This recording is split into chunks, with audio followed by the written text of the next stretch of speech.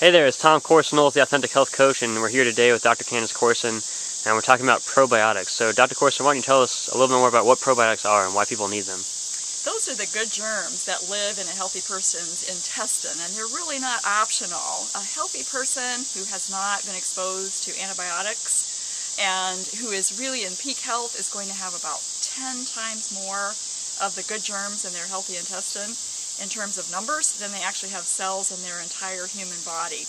We have about 10 trillion cells that make up the human body, all the kinds of different cells, but we have 10 times that many of the good germs, many different kinds, in our intestine if we're healthy. And we used to think they were sort of optional, or they were kind of just sitting there.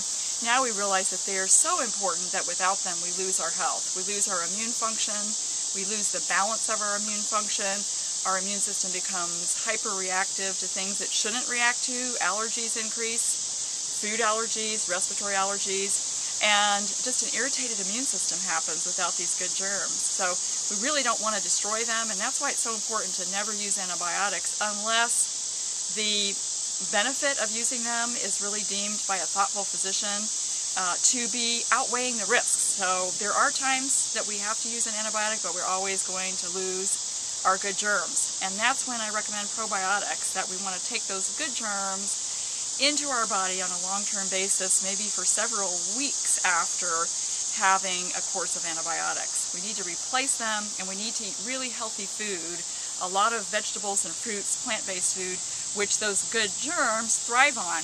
It, it, it also helps our body get well, but also our good germs need that good nutrition. So it's all a healthy balance and we can do that with a healthy nutrition and putting those good germs back in place. It's really not an option if we want to be healthy.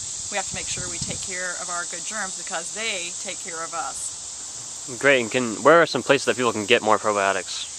A good quality health food store would be a place that you can get uh, some multiple different kinds of strains of these good germs. They usually come in more than one. One of the familiar ones that we have all heard of is Lactobacillus acidophilus. It is a good germ but there are probably 500 or more species, some of them haven't even been defined yet, that are the good ones in our intestine and they work in a group um, like an ecology, an ecosystem.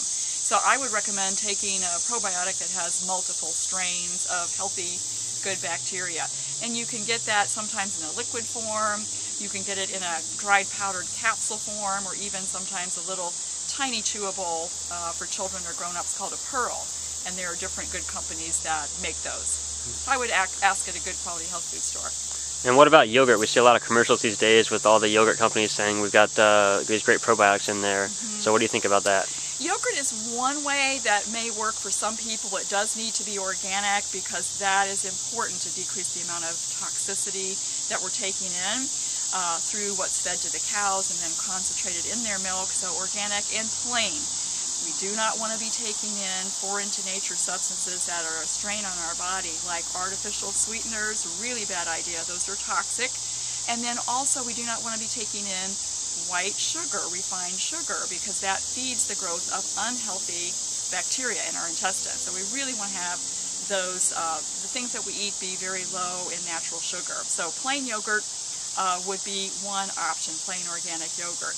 But it's just not the only way to get probiotics. There are many other ways, cultured foods, healthy cultured foods like sauerkraut and things like that.